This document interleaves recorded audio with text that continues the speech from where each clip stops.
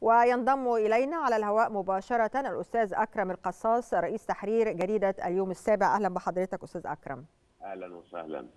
إذا أستاذ أكرم يعني تحتفل الشرطة في هذا العام الاحتفال السبعين أو العيد الشرطة السبعين ونحن نمضي قدما في مسيرة تعمل على تحسين جودة حياة المصريين من خلال ثلاثة إنجازات هامة جدا. هي مبادرة حياة كريمة وأيضا المجمع الأمني ومركز التأهيل وإنشاء المجلس القومي لحقوق الإنسان إلى أي مدى أضافت هذه الإنجازات بعد للاحتفال هذا العام؟ آه طبعا بالتأكيد والحقيقة الرئيس كان حريص جدا كعادته انه يوجه التحية للشهداء الشرطة وشهداء القوات المسلحة اللي قاموا بدور مهم ودفعوا حياتهم للوصول إلى هذا الاستقرار والحقيقة إنه الرئيس كان حريص أيضا إنه يؤكد إن إحنا مسيرة التنمية مستمرة والبناء وفرص عمل ومناطق صناعية ومحاور ومشروعات زراعية وإضافة للجغرافيا نعم. وكمان الحقيقة تطوير أداء الشرطة المصرية بالشكل اللي يحسن الخدمات للمواطنين ويؤكد فكرة الأمن والاستقرار بشكل علمي وحل المعادلة الصعبة يعني.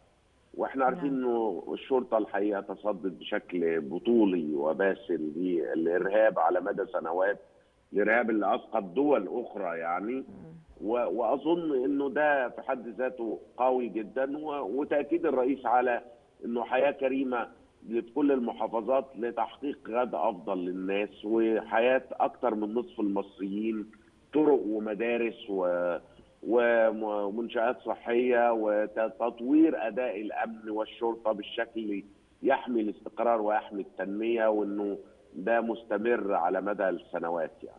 نعم أهم ما استوقف حضرتك النهاردة في كلمة السيد الرئيس التي ألقاها خلال الاحتفال بالعيد السبعين للشرطة المصرية.